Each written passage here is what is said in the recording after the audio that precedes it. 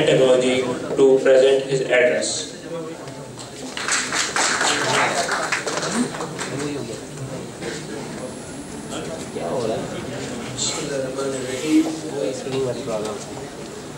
Respected uh, Mr. Jafar Saab, Professor Mukhlis, Asif Murtaza Dr. Saad Qazi, uh, Dr. Mir Shabbar Ali, dear uh, participants of the conference and other dignitaries, Assalamu alaikum and a very good evening.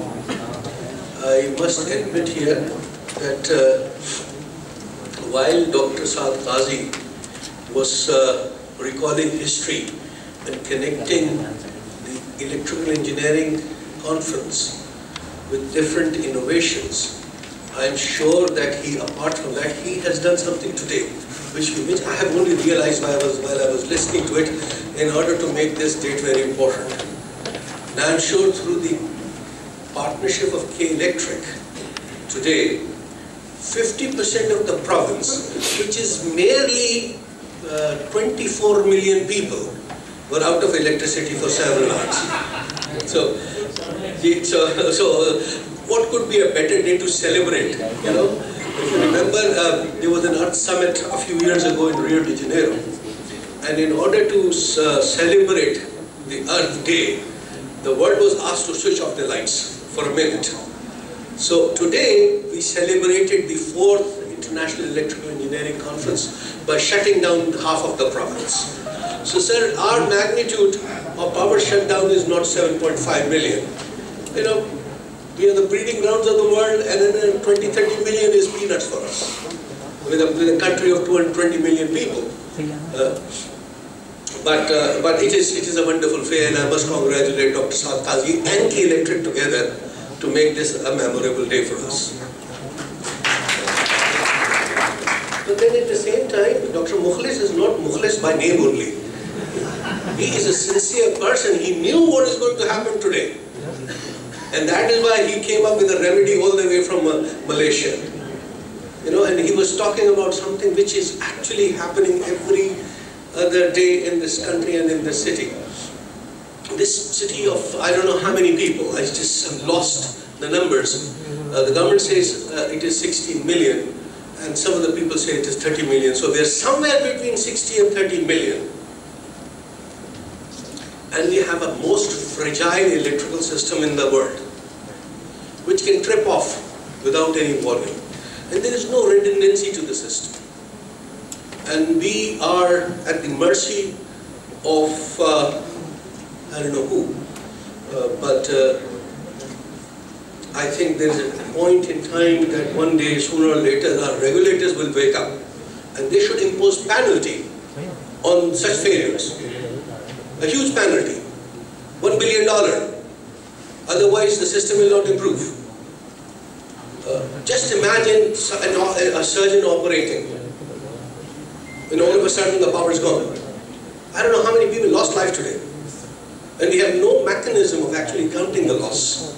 We count loss in terms of money.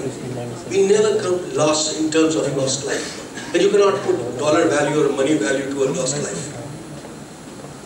And I, I think, I wish K Electric was here. I was anxiously looking forward to Mr. Amir Zia, but I knew that he would not show up.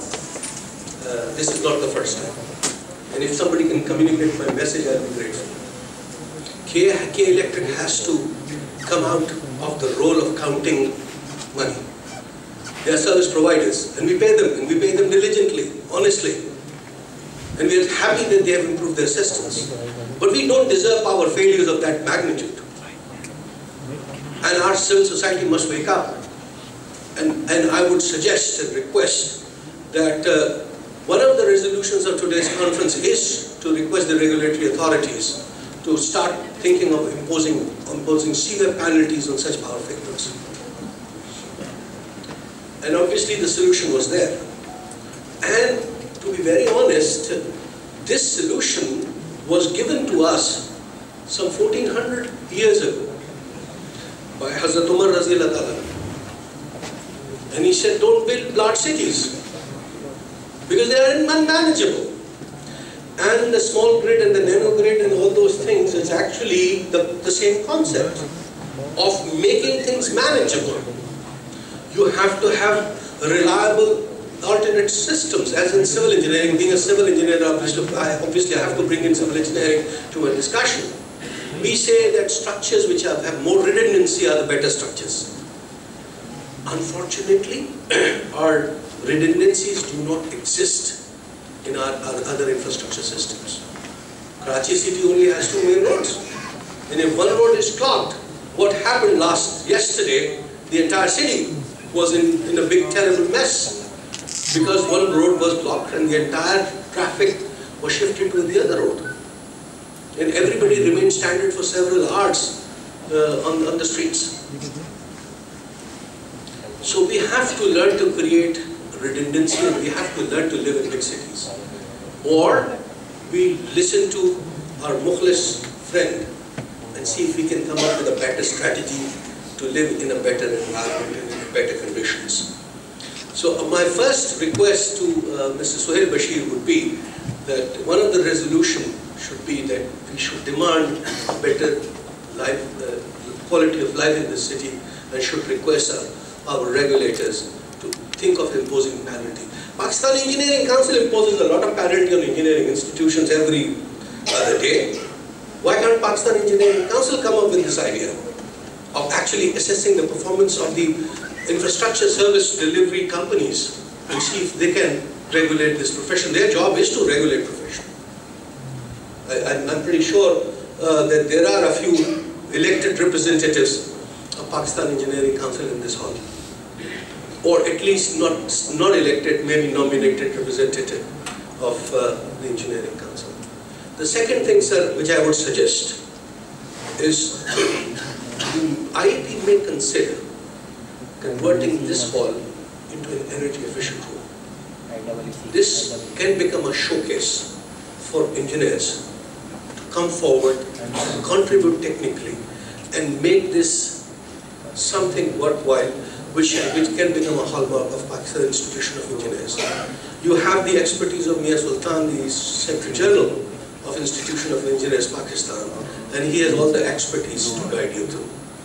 And I'm sure that whatever little other organizations can do uh, will participate in contributing to this very important cause. I can keep on going and, and I'm sure you're not interested in listening to another keynote especially after listening to Professor Mukhlis, a wonderful lecture. I enjoyed thoroughly, thoroughly. And while I was listening to it, I had uh, a small discussion with uh, Abid Murtaza Khan and see if we can actually assess uh, this, the, the, resilience of our system. I remember way back in 2014, when I was a real engineer. No, I am not. When I was a real, real engineer, I wrote to K Electric and requested them that I uh, have a research project with, where which I have to look at the well, assessment of vulnerability assessment of different infrastructure in the city. In the city. And uh, I requested them that I could do a vulnerability assessment of the power plants, the distribution system, and the main grid of K Electric in the city of Karachi.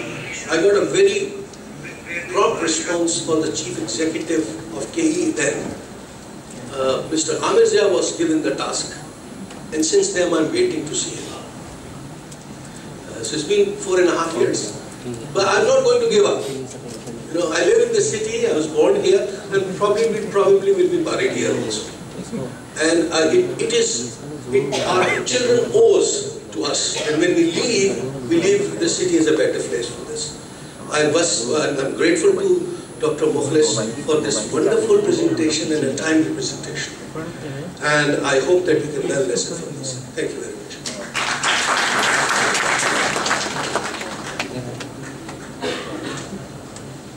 Thank you very much, sir, for your valuable thoughts. Ladies and gentlemen, our chief guest for the evening is Chairman and CEO Philips Pakistan Limited, he has been a part of the company for the past two decades. Over the course of his professional career at Philips, he has held senior leadership positions across the Philips Pakistan, Indonesia, Thailand, and Singapore. In addition to his responsibility as the country leader for Pakistan, he is associated with various prestigious external organizations. He was the president of the Overseas Investors Chambers of the Commerce and Industry for the year 2014. He serves on the board of directors of Engro Fertilizers and Engro Polymer and Chemical Limited. He holds a bachelor's degree in electrical engineering from NED University and an MBA degree from Imperial College Business School, London, where he studied as a Britannia Chevening Scholar. I would like to invite our chief guest for the evening, Chairman and CEO Philips Pakistan Limited, Mr. Asad Jafar upon the stage.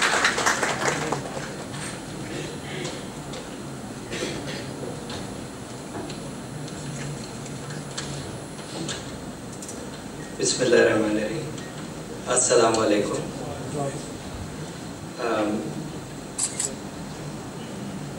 Dr. Sarosh Lodi, Sohail Bashir Saab, Dr. Saad Qazi, uh, Professor Nicholas, uh, my other distinguished guests, scholars, and I hope some students as well. Uh, I, could, I, saw some young people sitting at the back. Uh, it gives me really an honor, it's my honor and a pleasure to address such a distinguished uh, group of experts. Indeed, it was a fascinating keynote uh, lecture that we just got from Professor Mukhlis. Um, extremely relevant and, and yet very well presented, very simple. And what I loved about it was uh, that from an academic standpoint, you opened up, I was trying to count at least 15 areas for further research. And I think that should spur a lot of interest amongst our uh, faculty from the 17 universities, which I'm delighted to know are participating in this uh, conference, and also the uh, students. I think really fascinating uh, lecture. Thank you very much for that. I would like to congratulate the Institution of Engineers Pakistan and NED University in, for providing an excellent forum for knowledge and uh, knowledge sharing and research findings. We just got one example of that already. Um, and of course in the field of electrical engineering, which is my original field, I loved when Dr. Sarosh said when I was a real engineer. I think that I remember that time myself too. Um, I'm delighted also to be here because as I was introduced, I did my electrical engineering from NED University, uh, well, many years back in 1988. And I'm happy um, that for the first, I can say, Dr. Saab, for the first eight years of my work experience, I worked in hardcore engineering, um, in electrical and instrumentation. And thereafter, of course, I went for my MBA. But I can tell you, uh, that the engineer or the engineering does not ever leave you.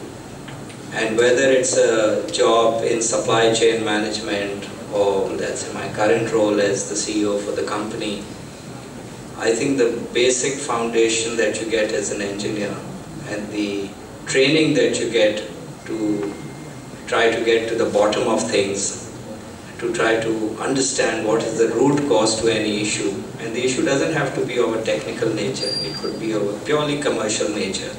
But the analytical tools and the mindset that one uh, develops from being an engineer, I think certainly helps.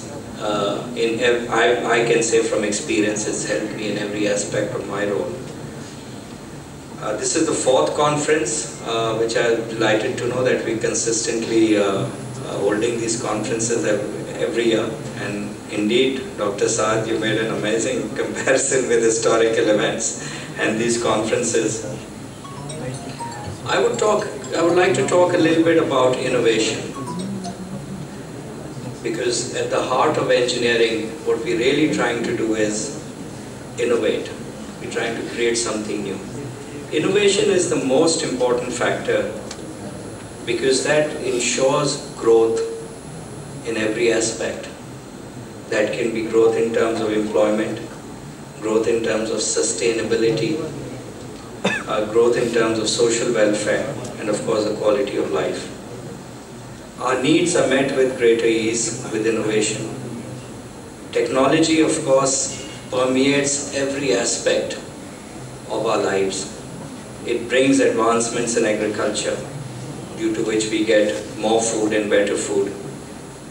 Uh, because of developments in technology in the fields of, say, architecture and engineering, uh, we talked about robustness and resilience. We have more robust civil structures. We have more robust uh, uh technology running our industry. And the application of technology, um, of course, boosts research. That's why I was especially interested in the research element of uh, Professor Mukhlis's lecture. And when you look at the amount of research that goes on around the world and the breadth of research that goes into finding solutions, um, whether it's in the medical field, whether it's in engineering, and even in the medical field, a lot of treatment is now based on engineering technologies that were previously not available. Um, as part of Philips, we are in nuclear imaging and nuclear technology as well, and the kind of equipment and the kind of technology, hardware and software that goes into producing an image of accuracy and quality in a PET scan, for instance, uh, that will and that image or the quality of that image will save the life or the lives of people. That is only, only possible because of engineering.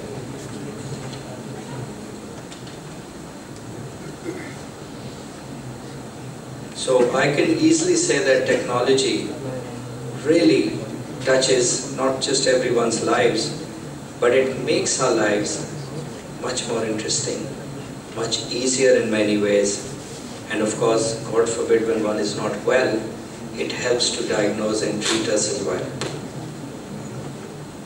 At the moment, I can say there's no more important opportunity or challenge that faces our nation than the responsibility to harness the power of technology so that we remain competitive globally and achieve breakthroughs that will improve our entire society.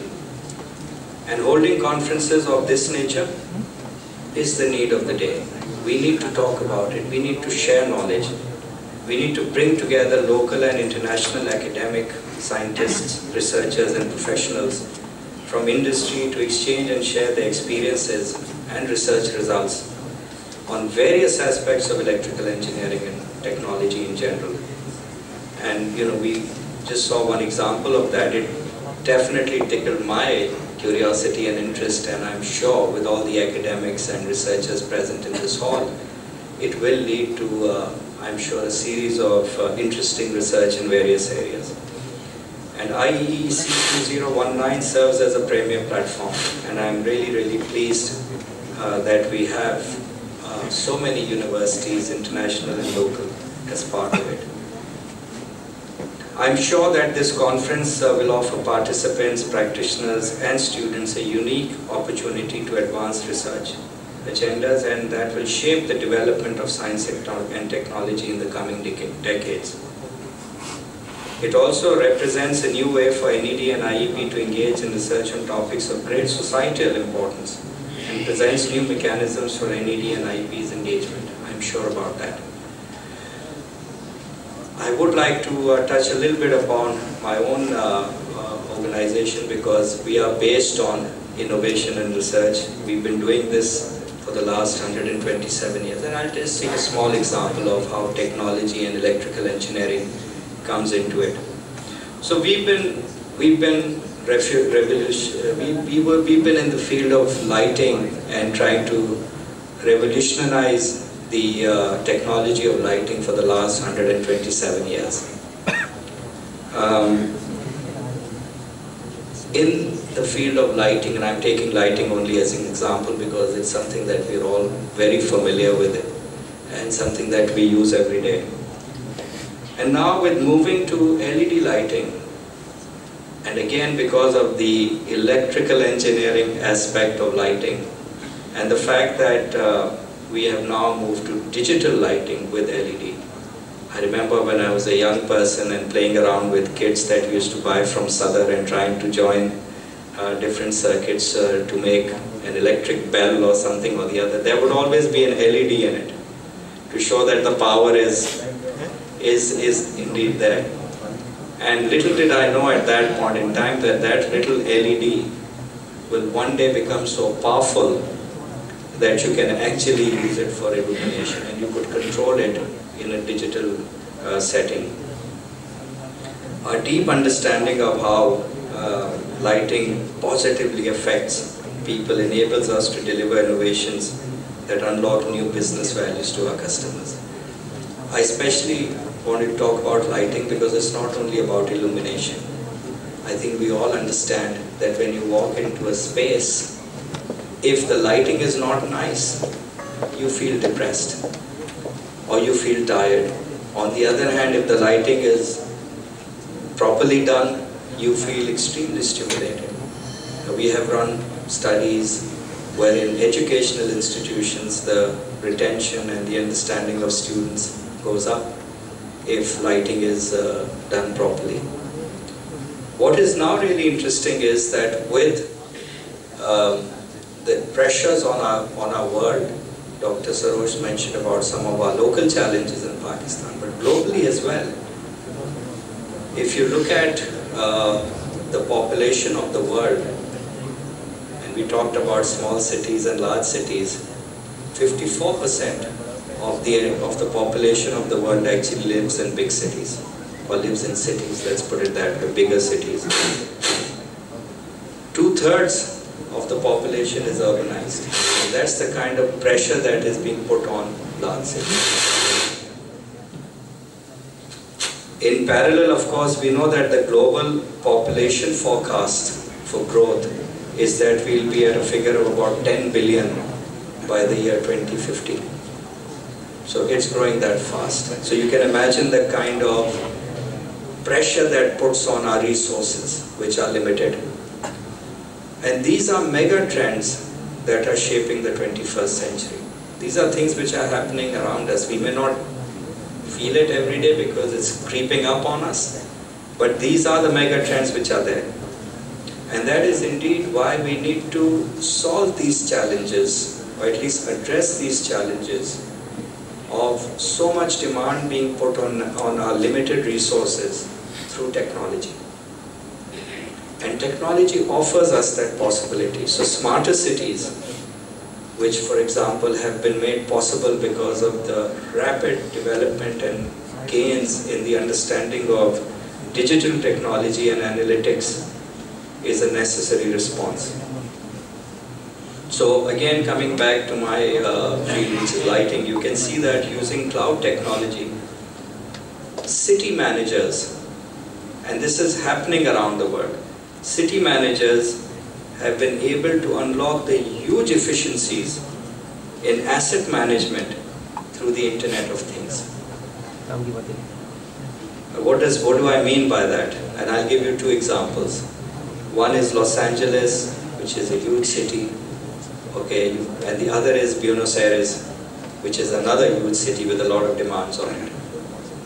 What have we done over there? Um, systems have been put in place where real-time analytics is available to the city managers. Sensors are in, embedded in lighting which is connected through a cloud network.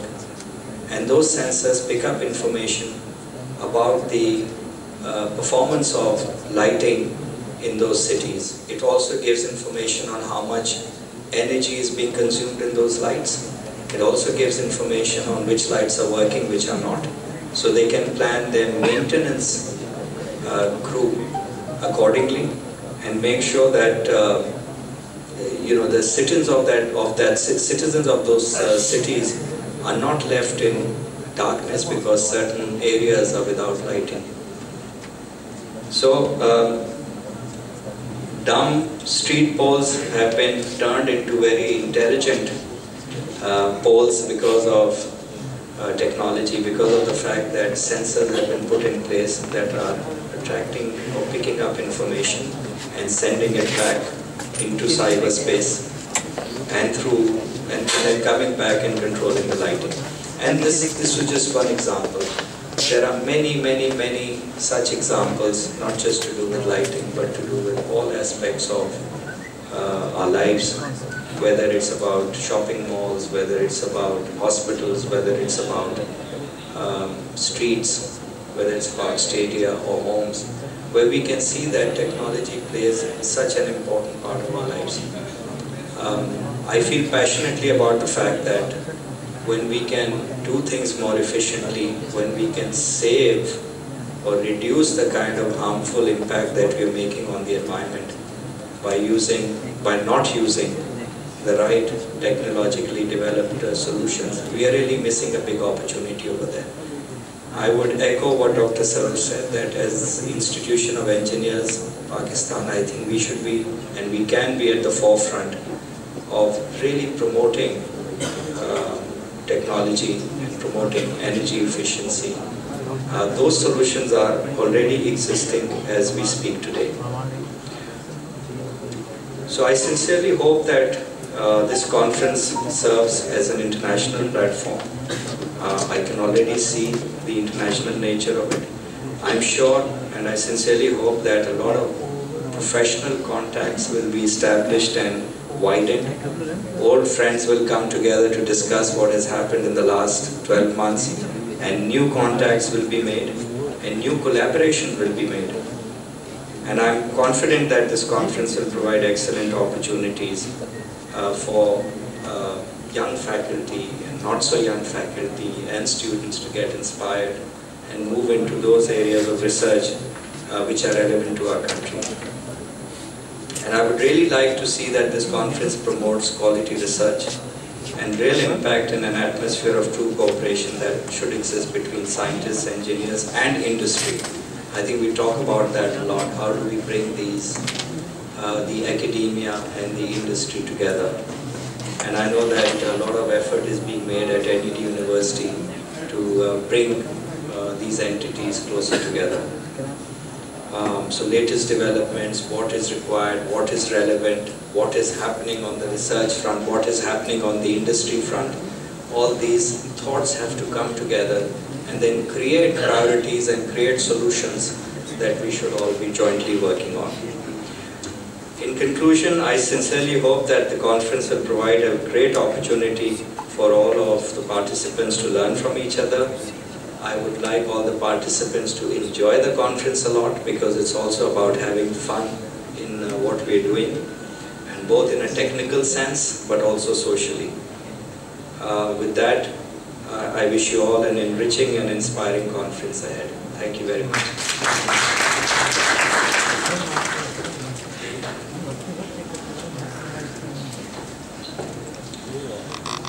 Thank you, sir, for your